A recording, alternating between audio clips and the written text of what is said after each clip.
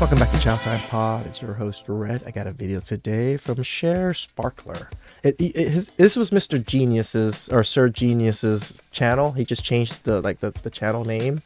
So uh, I have featured him before. He's doing better. Uh, he's at 121 now. Let's let's give him some more support. Let's get him to at least a couple hundred guys, so he can get get get on his way to being monetized. Please like and subscribe down below. I really appreciate that. Let's get to that chow. It's chow time. Reason I think, man, we don't do it anymore because you guys don't respect us anymore. Okay. Second, you guys don't need us anymore. I don't need it, man.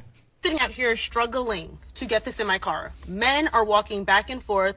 No one is trying to help me. It's But why should they? And why would they even want to? After all, women have been telling men over and over again to leave them alone. Women are independent. They don't need men. And now some are complaining when men are actually listening to them. Don't help anymore. They rush and sit down on trains and buses before women and pregnant women and elderly are sitting down. It's just a hot mess out here. But Yeah, in my opinion, the whole treat a woman like a woman just because she's a woman, that's over. Yeah. Certainly in my life is over. Because I'm not going to treat some feminist who probably hates men. Oh, and by the way, specifically straight white men. I'm not going to all of a sudden treat her so nicely or treat her like a woman or treat her like a lady when she's this boss babe, don't need no man, straight white man, male privilege, anti male, misandrist. No thanks. Oh, because saying something like that is a very clear message to most men that one doesn't even want them around. Yet at the same time, one is expecting those same men No, he's using clips from Nate's Ace Nate. Shout out to Ace Nate too. So to protect you. Me Too movement is full of liars and people who try to use the system to gain and make money off of the men they're accusing. And also, what did you think was going to happen? You create this movement of feminism that pretty much domesticates men and tells them that they need uh, approval and consent from everything they do. They are to walk on eggshells around women. They are oppressors. They are toxic. What did you think was going to happen? Like, did they really not see this coming? That guy was speaking facts. you ever seen those videos? And I'm going to speak to New York City. I, I come from New York City. Have you ever seen those videos that pop up from the subway where you'll see a woman being harassed on the subway by I don't know who, and there's a bunch of guys just sitting there watching and they don't do anything about it? What do you think is causing that trend, particularly in cities like New York City and Los Angeles among men? I think this whole teaching boys that they're equal to women and women that they're equal to boys doesn't help. I think that uh, men, by and large, and this, sh- if anybody, if any man hears this and isn't just upset, there, I don't know what you are then, because men are just weaker than we were before, statistically speaking. This is out when you go to a bar who's supposed to buy women drinks men are do you see that as often as like years and years ago all costs I get all that, man. I have to protect even that, when blah, blah, girls are fighting with each other like it is so ugly it is the ugliest thing that there is men around and they're not doing anything But why do you think men don't do that anymore? Because they used to do that before. But why do you think they don't do that anymore? They stopped doing that. why do you think you're a man you tell me First of all, good Uh-huh. question. The reason I think, men we don't do it anymore because you guys don't respect us anymore. Okay Second, you guys don't need us anymore. I don't need it, man. I'm a strong woman, independent. You're the independent, you're strong. What do you need me for? What do you complain to me not protecting when you already have everything that you want? I'm a buck. what do you need me for? I think she Why are men less inclined to help modern women? Isn't it a paradox in our so-called progressive society? It's a question that often lurks in the corners of our collective consciousness, but rarely sees the light of day. We live in an era that champions equality and empowerment, yet we find a peculiar trend emerging. Men, it seems, are less likely to extend a helping hand to women. What's causing this shift? Let's delve into the reasons behind this perplexing behavior. Modern feminism. It's a term that has gained much traction in the last few decades, but how does it affect men's willingness to help women? In a society where gender roles and expectations are constantly evolving, the impact of modern feminism is profound. This social and political movement has brought about significant changes in how we perceive men and women. However, it's also had some unintended consequences. One of the more striking manifestations of modern feminism is the rise of statements like, I don't need no man, or F all men. These phrases often not even just that. There's like end all men too. That's the scary part, right?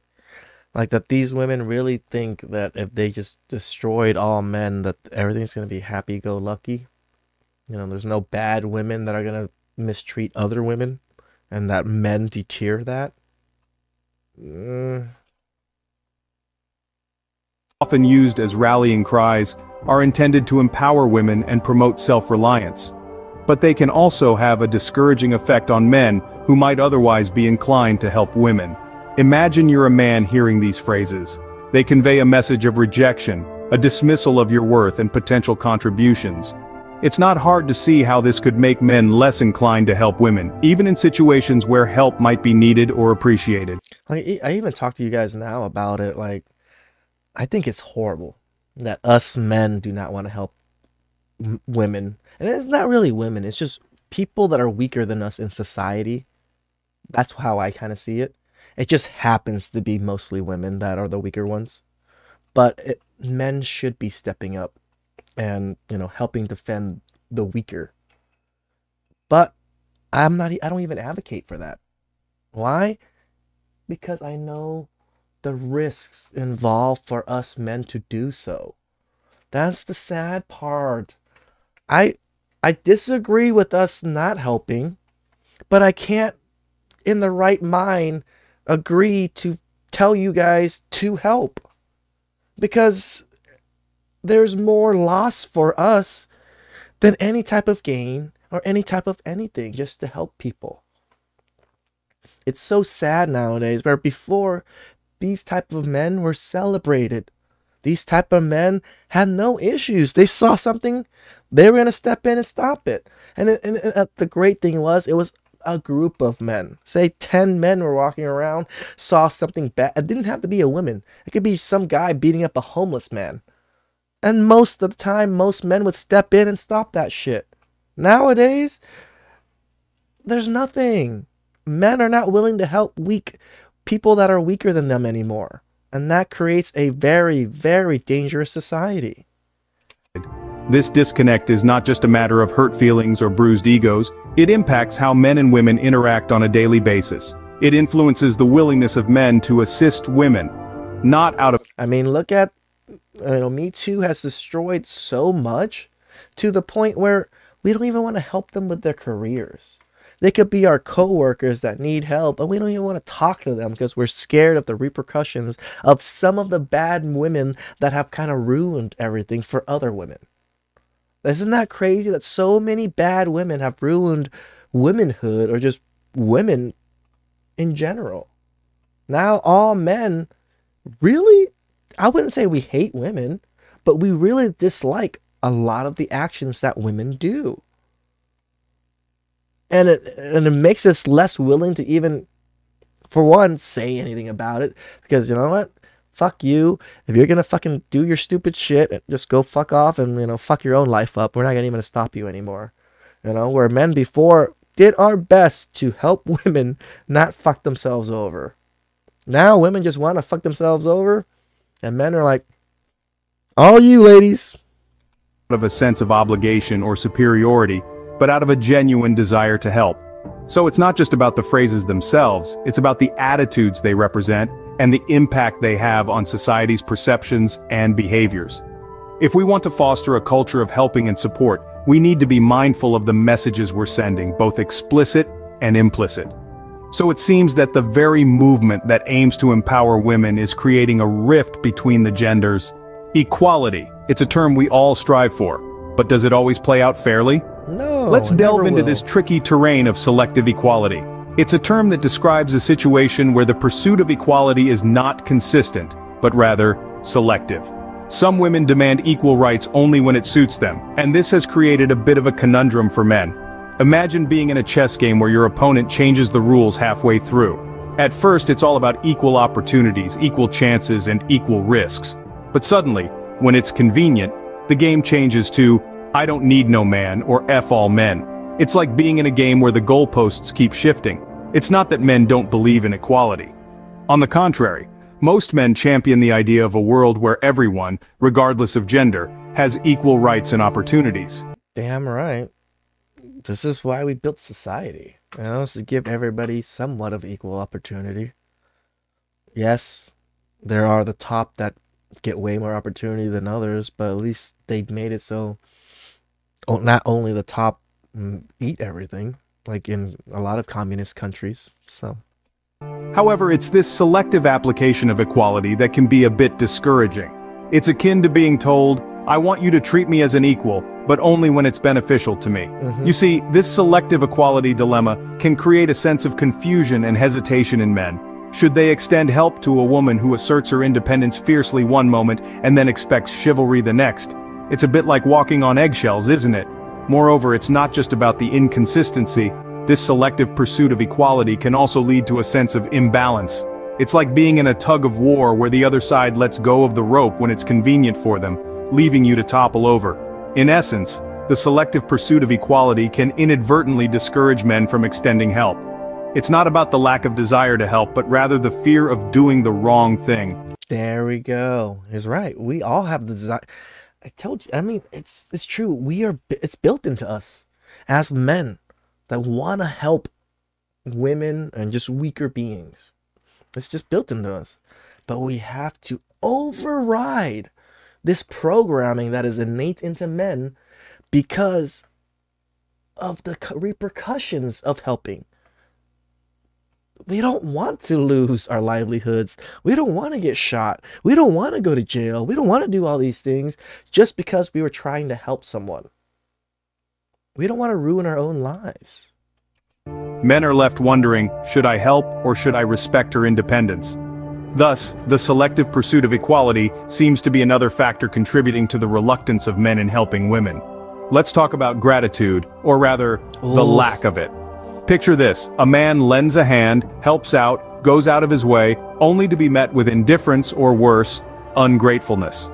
This scenario You know what? When you like do something and you're like, yeah, you, yeah, that's what you're supposed to do. God, that irks me so hard when I hear shit like that when I'm out in public. It's like, oh, that's what you're supposed to do for me. Fuck you. isn't uncommon, and it's enough to make anyone think twice about extending their kindness in the future. We can't ignore the fact that gratitude is a two-way street. It is. It's the fuel that keeps the engine of goodwill You know how many men keep the door open for me? Quite a few. A lot of men keep the door open for me, as I do for them. Because there's still good men out there, and guess what I do? Thank you, sir. Tell people thank you, guys. Like when you open the door and keep the door open for someone and they don't say anything, yeah, some of you guys might not feel anything or feel a way about it, but when you hear a thank you, you're like, oh, fuck, you're welcome, brother. You know? When you hear a thank you, you get that sense of, oh, they appreciate it. You know, that's wonderful. You know, just a slight sh- showing of appreciation. Men, as men, we eat it up. We love it. running. When someone helps us, acknowledgement and appreciation are the least we can offer in return. Yep. But in many situations today, men find themselves on the receiving end of a lackluster thank you or no acknowledgement at all. Now let's be clear, we're not saying that men help with the expectation of praise or reward. But a little appreciation goes a long way in fostering positive interactions. It's human nature to want to feel valued and respected. So, when men continually face a lack of appreciation, it's no surprise they may become less inclined to help out. This lack of gratitude isn't just about saying thank you. It's about recognizing the effort, time, and sometimes even personal sacrifice that someone has made to assist. It's about acknowledging that they didn't have to help but they chose to. And when this recognition is missing, it can feel like a slap in the face. Right? That's a good point. Remember, they didn't have to do these things. They chose to. They chose to be a good gentleman. They chose to keep the door open. They chose to do these things. Not everybody chooses these things. This is why gratification, I mean, you know, being grateful for them choosing to do something out of their way to help you out, even if it's just holding the goddamn door. You know, like they didn't have to do that. Imagine how discouraging it can be to offer assistance, only to feel unappreciated or even disrespected. Over time, this can lead to a sense of disillusionment, creating a barrier that makes men hesitant to step forward in the future. After all, why put yourself out there if your actions are likely to go unnoticed or unappreciated? The issue here is not about seeking validation or fishing for compliments. It's about fostering a culture of appreciation, where each act of kindness is acknowledged and valued. You know, when I was younger, this was the norm. When I was a kid, everyone acted this way. Everyone kept doors open for people. Everyone genuinely helped people. That's crazy how from what I'm 30 now, 37. So like what? In 30 years, guys, like maybe less. It went from a very helpful society. We cared about people. We held doors for people. People said thank you. To now, people are resenting people for holding the door. People expect you to do things and, you know, resent you for doing certain things. It's just like, what the fuck? It's about creating an environment where people feel motivated to help, not discouraged or belittled. Damn right. Indeed, the lack of appreciation seems to be another significant factor in this issue. No good deed goes unpunished sounds a bit harsh, doesn't it? It but does. sometimes that's exactly how it feels. Let's delve into the heart of the matter, the fear of misinterpretation. Picture this. A man offers to help a woman, perhaps by fixing a flat tire or carrying a heavy box. His intentions are pure, just to lend a helping hand. But instead of receiving appreciation, he finds himself on the receiving end of a suspicious glare, or worse yet, labeled as a creep. Mm. This isn't an isolated incident. Men across the globe are finding themselves in similar situations. They are being falsely accused or misunderstood for their acts of kindness. And these allegations And that's that's crazy, right? Because women want men to be chivalrous and want us to do all these things. And when there's a chivalrous man that does these things, he's a creep. We can't win. aren't just embarrassing. They can cause serious harm, ruining reputations, straining hmm. relationships, and even leading to legal troubles. It's a precarious tightrope to walk. On one side, there's the inherent desire to be helpful, to be a gentleman, to extend that helping hand when someone is in need. On the other side, there's the fear of misinterpretation, the anxiety that their intentions might be misconstrued, and the worry about the potential backlash. And it's not just about the fear of false allegations, it's also about the fear of crossing invisible boundaries. In today's world where everyone is hyper-aware of personal space and consent, offering help can sometimes be seen as an intrusion. Men are often left wondering, will my offer of help be seen as an encroachment? Will I be perceived as overstepping? This fear of misinterpretation, coupled with the lack of appreciation we discussed earlier, often leads to a reluctance to offer help.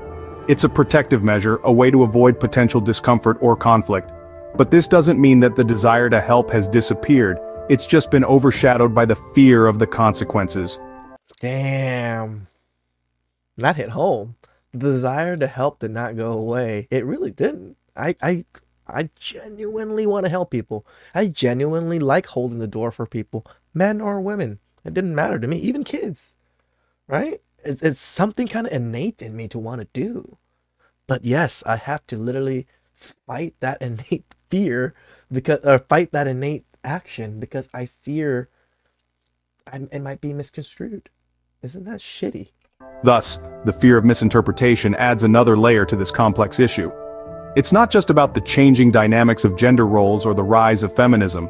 It's about the fear of misunderstanding, the fear of crossing boundaries, and the fear of facing undeserved repercussions for an act of kindness. So we've explored the various factors that can discourage men from helping women in our modern society. Let's take a brief trip down memory lane to recap what we've discussed. We began with the impact of modern feminism. Some modern feminists have adopted phrases like, I don't need no man or F all men, which can create a sense of animosity and discourage men from offering help. We then delved into the issue of selective equality, the idea that some feminists may only advocate for equality when it suits them. This can lead to a perception of double standards, further dissuading men from stepping in. Next, we touched on the lack of appreciation often experienced by men who do help. The absence of a simple thank you can make a man question whether his assistance is valued or even wanted. Lastly, we addressed the fear of misinterpretation. In some instances, good deeds have been twisted into accusations or misread as creepy advances, making men wary of lending a hand. These are complex issues with deep societal roots. However, acknowledging them is the first step towards progress. By understanding these factors, we can work towards bridging the gap and fostering a more supportive and understanding society. Ooh, that was damn good, Chow. Sir Genius. Or I don't know what you want me to go by your, your new name. I'm just keep on calling you Sir Genius. Because that was what I'm used to. Great video, brother. That was a really awesome video. You know, shout outs to Ace Nate. You used uh, some of his uh, videos in the beginning. And you did a very good segment of, you know, the the auto words thing. Great script. I loved it. This is probably one of your better videos for sure, brother. Please subscribe down below. I really appreciate it. Catch you guys next time. Ciao.